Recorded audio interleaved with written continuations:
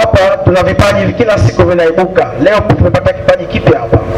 Kwa hiyo yoyote ambaye ana kipaji tunamkaribisha Baraza la Sanaa, Sensa Filamu na Utamaduni kwa ajili ya kumtambua, na vipaji vipo vingi Zanzibar. Kwa hiyo watu wasione shida.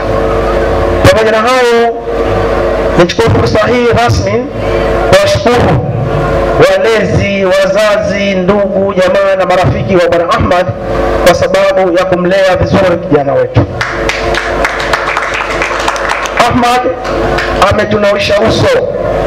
Baraza la Sanaa, Sensa Filamu na Utamaduni kama taasisi inashughulika na mambo ya utamaduni na sanaa, lakini pia Serikali ya Mapinduzi ya Zanzibar ameitangaza vyema nje ya Tanzania. Hilo halitoshi, serikali ya Jamhuri ya Muungano wa Tanzania pia inamtambua, ameiwakilisha Tanzania nje ya Zanzibar, tunawasilishwa kama Tanzania. Kwa hiyo Ahmad anafahamika ni mshindi kutoka Tanzania.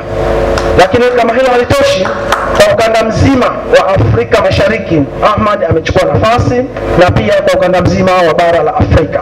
Kwa hiyo kwa mtazamo mdogo, watu wanaona ni jambo dogo, lakini ni jambo kubwa kubwa kubwa kabisa. Leo tuko katika shughuli ya pili. Ya kwanza tulifanya pale Baraza la Wawakilishi, hii ya pili tunaifanya katika ngazi ya familia.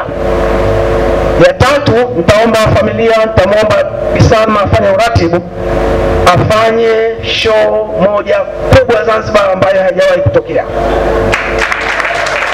Ninawashauri kila aliyeko hapa atusaidie, tutamaliza mfungo wa mwezi mtukufu wa Ramadhani, waweze kuja watu wengi wanahitaji hii fursa kabla haijatoka nje, waweze kuja kuchangia, waweze kuja kuona ni fursa ambayo ipo nyumbani. Kwa hiyo sisi kama Baraza la Sanaa tutashirikiana naye, Bi Salma naye ni mratibu wake. Kila ambaye anataka kupata hii fursa aipate.